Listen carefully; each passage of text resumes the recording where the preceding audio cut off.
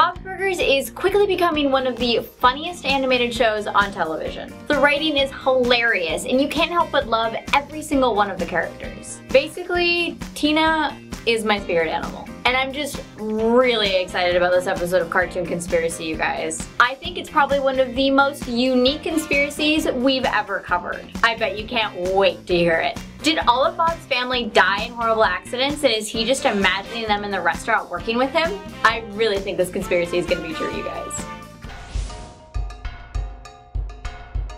Obviously, I was being a little sarcastic back there. I know the all of the characters are dead and everything is in so-and-so's mind conspiracies aren't exactly original. But please hear me out because this one is actually pretty interesting. This theory stems from the Bob's Burgers theme song. Apparently, all of the restaurant's reopenings are due to the Belcher children's untimely demise. Supposedly, Bob opened his burger restaurant after suffering a psychotic breakdown due to the death of his wife Linda, which he feels responsible for. How Linda died though is not stated. The children died in subsequent accidents causing the restaurant's relaunches. Louise died first, in the fire. Supposedly, because of Louise's reckless behavior, she is the one who started the fire in the first place. Bob actually mentions this in passing in the show when he tells Tina she is a grill cook because he doesn't trust Louise around fire. Gene caused the rat infestation. During the process of collecting and releasing the rats, he's bitten and dies due to infection. Tina was the last to die. She was mopping the floor near the window when a telephone pole crashed through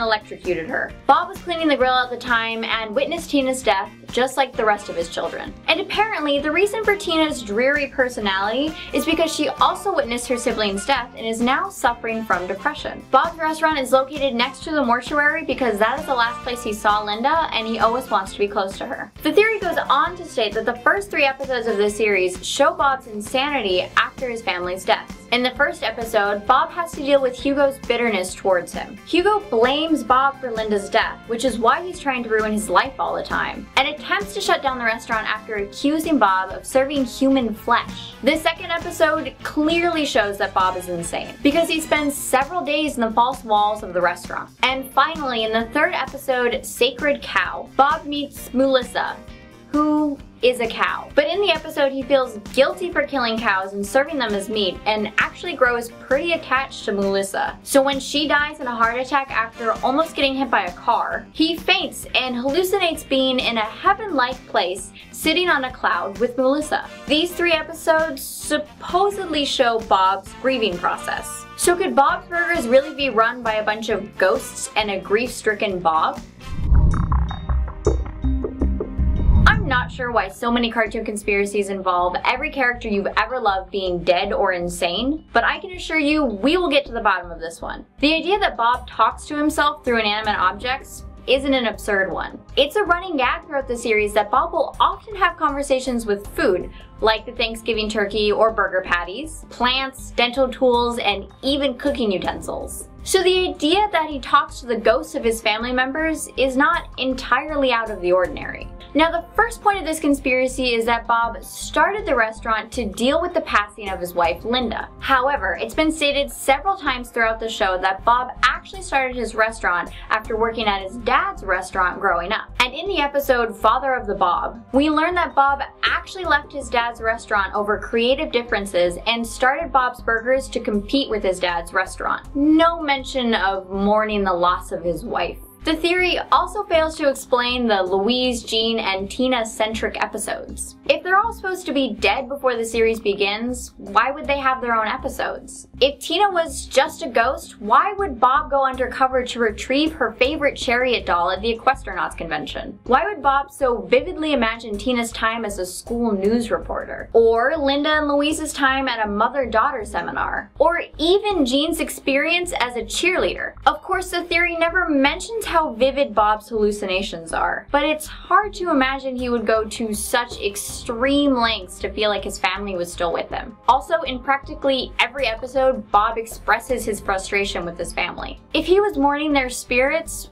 Why would he get so annoyed with them? The theory also states that Tina is depressed due to witnessing her siblings' deaths. But if you've ever seen an episode of the show, you know that Tina is far from depressing. She is a strong, sensual woman. All in all, this theory just seems like another attempt to ruin your favorite TV show. And the evidence falls pretty flat compared to the facts of the show. So on the plausibility meter, I give the Bob's Burgers conspiracy one weekend at Mort's out of five. We checked the comments and here's what you guys thought of this theory. The Animal Lover said, This is probably the dumbest conspiracy you have ever covered. That, my friend, is a matter of opinion.